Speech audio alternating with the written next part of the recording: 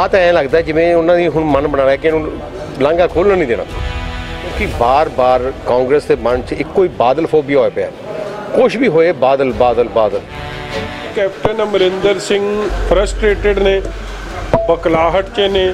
ਇਹ ਅਰਦਾਸ ਸਦਕੇ ਇਹ ਕੋਰੀਡੋਰ ਖੁੱਲ ਰਹੀ ਹੈ ਔਰ ਉਸ ਗੱਲ ਨੂੰ ਧਿਆਨ 'ਚ ਰੱਖਦਿਆਂ ਹਾਂ ਕੈਪਟਨ ਅਮਰਿੰਦਰ ਸਿੰਘ ਆਪ ਦੀ ਜਿਹੜੀ ਆਈਐਸਆਈ ਦੀ ਰਾਜਨੀਤੀ ਹੈ, ਉਹ ਫੇਰ ਕਦੇ ਕਰ ਲੈਣ।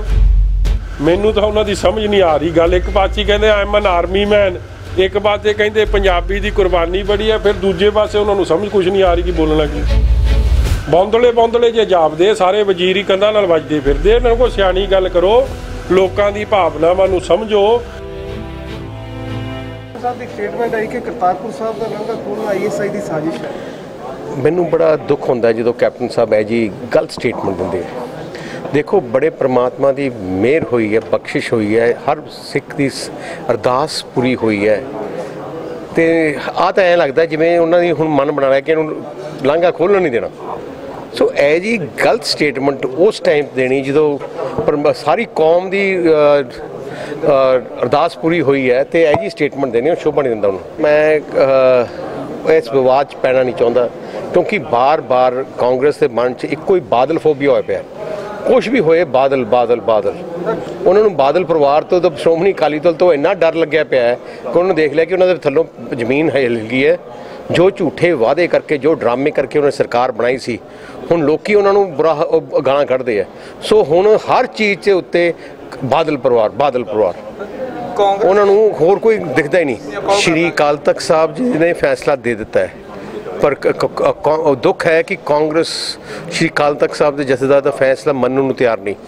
ਜੋ ਸਿੰਘ ਸਾਹਿਬ ਨੇ ਜੋ ਫੈਸਲਾ ਦਿੱਤਾ ਹੈ, ਪਹਿਲੇ ਤਾਂ ਕਿਹਾ ਸੀ ਅਸੀਂ ਜੋ ਸਿੰਘ ਸਾਹਿਬ ਕਹਿਣਗੇ।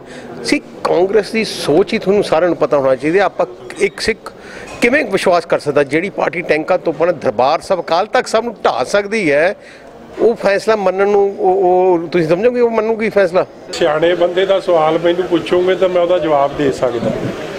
ਆਈ ਥਿੰਕ ਅਕਾਲ ਤਖਤ ਸਾਹਿਬ ਦੇ ਜਹੇਦਾਰ ਸਾਹਿਬ ਦੀ ਉਹਨਾਂ ਦੇ ਮੁਖਾਰਬਿਨ ਤੋਂ ਕੋਈ ਗੱਲ ਨਿਕਲੀ।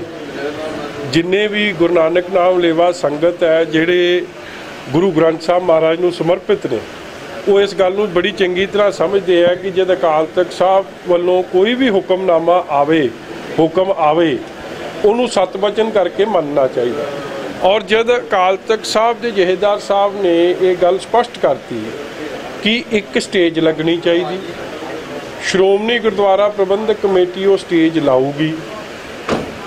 ਉਸ ਗੱਲ ਨੂੰ ਧਿਆਨ 'ਚ ਰੱਖਦਿਆਂ ਦੇਸ਼ ਦੀ ਸਰਕਾਰ, ਦੇਸ਼ ਦੇ ਪ੍ਰਧਾਨ ਮੰਤਰੀ, ਉਹਨੂੰ ਸੀਸ ਨਿਵਾਉਂਦੇ ਹੋਏ, ਉਸ ਗੱਲ ਨੂੰ ਸਤ ਕਰਦੇ ਹੋਏ ਉਹਨਾਂ ਨੇ ਉਸ ਗੱਲ ਨੂੰ ਮੰਨਿਆ। ਮਗਰ ਜਿਹੜੇ ਇੰਦਰਾ ਗਾਂਧੀ ਦੇ ਪੈਰੋਕਾਰ ਨੇ ਕਾਂਗਰਸ ਪਾਰਟੀ, ਜਿਹੜਾ ਜਿਨ੍ਹਾਂ ਦਾ ਇੱਕੋ ਇੱਕ ਮਕਸਦ ਰਿਹਾ ਹੈ ਕਿ ਅਕਾਲ ਤਖਤ ਸਾਹਿਬ ਨੂੰ ਕਮਜ਼ੋਰ ਕਰਨਾ। 84 ਦੀ ਵੀ ਜਿਹੜੀ ਸਾਰੀ ਕਾਰਗੁਜ਼ਾਰੀ ਸੀ, ਉਹ ਸਿਰਫ ਇਸ ਲਈ ਟੈਂਕਾਂ ਤੋਪਾਂ ਗੋਲਿਆਂ ਨਾਲ ਸ਼੍ਰੀ ਅਕਾਲ ਤਖਤ ਸਾਹਿਬ ਤੇ ਅਟੈਕ ਕੀਤਾ ਸੀ ਕਿ ਸਿੱਖਾਂ ਦੀ, ਗੁਰੂ ਨਾਨਕ ਨਾਮ ਲੇਵਾ ਦੀ ਜਿਹੜੀ ਮਾਨਸਿਕਤਾ, ਉਹਨੂੰ ਸੱਟ ਪਹੁੰਚਾਈ ਜਾਵੇ। ਉੱਥੇ ਅਰਦਾਸ ਕੀ ਹੁੰਦੀ ਹੈ? ਨਾਨਕ ਨਾਮ ਚੜ੍ਹਦੀ ਕਲਾ ਤੇਰੇ ਭਾਣੇ, ਸਰਬੱਤ ਦਾ ਭਲਾ। ਤੇ ਜਿੱਥੇ ਸਰਬੱਤ ਦੇ ਭਲੇ ਦੀ ਅਰਦਾਸ ਹੁੰਦੀ ਹੋਵੇ ਇੱਕ ਇੱਕੋ ਹੀ ਪ੍ਰਧਾਨ ਮੰਤਰੀ ਹੋਈ ਹੈ ਇੰਦਰਾ ਗਾਂਧੀ ਕਾਂਗਰਸ ਦੀ ਜਿਨੇ ਆਜ਼ਾਦ ਦੇਸ਼ 'ਚ ਆਪਣੇ ਜਿੱਥੇ ਗੁਰੂ ਧਾਮ ਨੇ, ਜਿੱਥੇ ਸਰਬੱਤ ਦੇ ਭਲੇ ਦੀ ਅਰਦਾਸ ਹੋਵੇ, ਉਹਨੂੰ ਅਟੈਕ ਕੀਤਾ। ਕਿਉਂ ਕੀਤਾ? ਉਹੀ ਮਾਨਸਿਕਤਾ ਅੱਜ ਸੁਖੀ ਰੰਦਾਵਾ 'ਚ ਜਾਂ ਉਹਨਾਂ ਦੇ ਬਜ਼ੁਰਗ 'ਚ ਜਾਂ ਉਹਨਾਂ ਦੀ ਕਾਂਗਰਸ ਪਾਰਟੀ 'ਚ ਦੇਖਣ ਨੂੰ ਮਿਲ ਰਹੀ ਹੈ, ਜਿਹੜੀ ਅਫਸੋਸ ਦੀ ਗੱਲ ਹੈ। ਮੈਂ ਅੱਜ ਵੀ ਅਪੀਲ ਕਰਦਾ।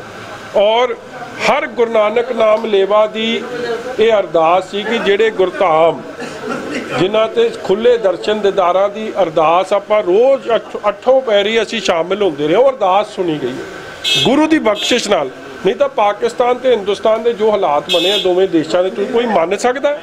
ਜਦੋਂ ਟ੍ਰੇਡ ਬੰਦ ਹੈ, ਕਿ ਤੁਸੀਂ ਕ੍ਰਿਕਟ ਮੈਚ ਆਪਸ ਵਿੱਚ ਖੇਡ ਕੇ ਰਾਜੀ ਨਹੀਂ, ਇੱਕ ਦੂਜੇ ਨਾਲ ਪ੍ਰਧਾਨ ਮੰਤਰੀ ਗੱਲ ਨਹੀਂ ਕਰਦੇ ਮੁੱਖ ਗੁਰੂ ਸਾਹਿਬ ਦੀ ਗੁਰੂ ਨਾਨਕ ਸਾਹਿਬ ਸੱਚੇ ਪਾਤਸ਼ਾਹ ਦੀ ਅਪਾਰ ਬਖਸ਼ਿਸ਼ ਹਿਰਦਿਆਂ ਤੇ ਬਹਿ ਕੇ ਐਡੇ ਤਣਾਅਪੂਰਨ ਮਾਹੌਲ 'ਚ ਵੀ ਇੱਕ ਮਾਹੌਲ ਬਣਾਤਾ ਕਿ ਇਹ ਲਾਂਘਾ ਬਣਨਾ ਚਾਹੀਦਾ ਗੁਰੂ ਦੀ ਬਖਸ਼ਿਸ਼ ਨਾਲ ਹੋ ਰਿਹਾ। ਕੈਪਟਨ ਸਾਹਿਬ ਕਹਿੰਦੇ ਆਈਐਸਆਈ ਦੀ ਸਾਜ਼ਿਸ਼ ਹੈ ਦੇਖੋ ਮੈਂ ਸਮਝਦਾ ਜੀ ਕੈਪਟਨ ਅਮਰਿੰਦਰ ਸਿੰਘ ਫਰਸਟ੍ਰੇਟਡ ਨੇ ਬਕਲਾਹਟ 'ਚ ਨੇ।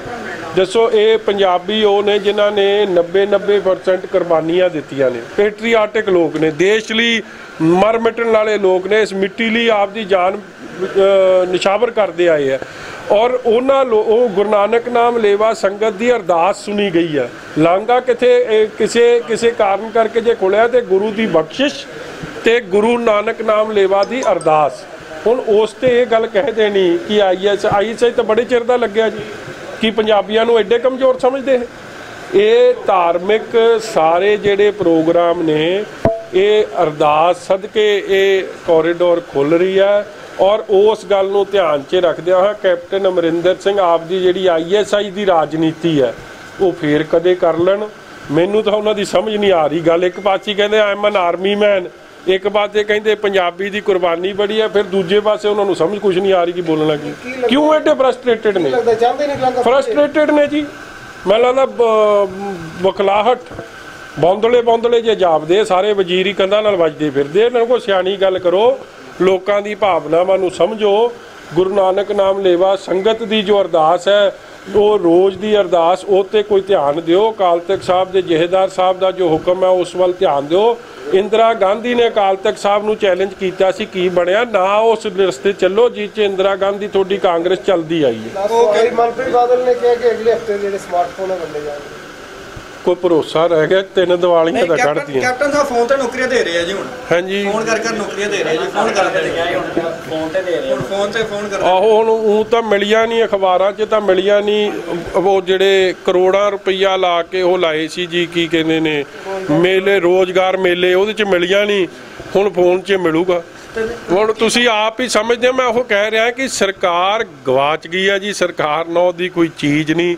ਹੁਣ ਤਾਂ ਆਪੋ ਤਾਪੀ ਪਈ ਹੈ ਫਰਸਟ੍ਰੇਸ਼ਨ ਹੈ ਸਾਰੀ। ਕਾਂਗਰਸ ਕਹਿੰਦੀ ਕਿ ਔਰ ਮੈਂ ਅੱਜ ਵੀ ਬੇਨਤਾ ਗੁਰੂ ਸਾਹਿਬ ਇਹਨਾਂ ਨੂੰ ਸਮਤ ਬਖਸ਼ਿਸ਼ ਕਰਨ ਕਿ ਰਲ ਮਿਲ ਕੇ ਗੁਰੂ ਦੇ ਸਤਕਾਰ ਵਜੋਂ 550 ਸਾਲਾ ਜੋ ਸੰਗਤ ਦੀ ਭਾਵਨਾ ਕਿ ਬੜੇ ਸਤਕਾਰ ਨਾਲ ਬੜੇ ਧੂਮਧਾਮ ਨਾਲ ਬੜੇ ਸ਼ਰਧਾ ਭਾਵ ਨਾਲ ਇਹ ਦਿਨ ਮਨਾਉਣਾ ਚਾਹੀਦਾ ਉਸ ਤੇ ਧਿਆਨ ਦੇਣ ਕਾਂਗਰਸੀ ਇੰਦਰਾ ਗਾਂਧੀ ਦੀ ਪਾੜੋ ਤੇ ਰਾਜ ਕਰੋ ਵਾਲੀ ਨੀਤੀ ਛੱਡ ਦੇਣ। ਕਾਂਗਰਸ ਔਰ ਖਾਸ ਤੌਰ ਤੇ ਇੱਕ ਵਜ਼ੀਰ ਜੀ ਨੂੰ ਬਲੱਡ ਪ੍ਰੈਸ਼ਰ ਦੀ ਬਿਮਾਰੀ ਹੈ। ਕਾਂਗਰਸ ਕਹਿੰਦੀ ਕਿ ਐਜੀਪੀਸੀ ਤਾਲਮੇਲ ਨਹੀਂ ਕਰਦੀ ਵੀ ਆਪਾਂ ਤਾਲਮੇਲ ਕਰਾਂਗੇ ਹੈ? ਐਜੀਪੀਸੀ ਤਾਲਮੇਲ ਨਹੀਂ ਕਰਨ ਦੀ ਜਦ ਜਹੇਦਾਰ ਸਾਹਿਬ ਜੀ ਨੇ ਕਹਿ ਦਿੱਤਾ ਤੇ ਕੁਝ ਰਹਿ ਗਿਆ ਜੀ ਉਹਨਾਂ ਦੀ ਛੁੱਟੀ ਆ ਪਰ ਤਾਂ ਵੀ ਐਜੀਪੀਸੀ ਸਾਡਾ ਤਾਲਮੇਲ ਨਹੀਂ ਕਰਦੀ ਵੀ। ਕੌਣ ਕਹਿੰਦਾ ਜੀ? ਕਾਂਗਰਸ ਕਹਿੰਦੀ ਚੰਨੀ ਸਾਹਿਬ ਤਾਂ ਕਹਿੰਦੇ ਮੈਂ ਆਉਂਗਾ ਕੱਲ ਹੀ ਕਹਿ ਰਹੇ ਸੀ। ਤੇ ਤਾਲਮੇਲ ਸਿੱਧੂ ਸਿੱਧੂ ਸਿੱਧੂ ਸਾਹਿਬ ਨੂੰ ਸੱਦਾ ਦਿੱਤਾ ਗਿਆ ਜੀ ਪ੍ਰਾਣ ਖਾਣਾ ਚੰਗੀ ਗੱਲ ਹੈ ਜੀ ਚੰਗੀ ਗੱਲ ਹੈ ਤੁਹਾਨੂੰ ਵੀ ਆਉਣਾ ਚਾਹੀਦਾ ਸਾਰਿਆਂ ਨੂੰ ਆਉਣਾ ਚਾਹੀਦਾ।